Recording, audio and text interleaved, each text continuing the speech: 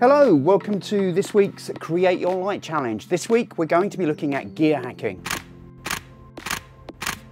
We'd love to see your images, we'd love to see your gear hacks, so please share them on hashtag Create Your Light. Look forward to seeing them.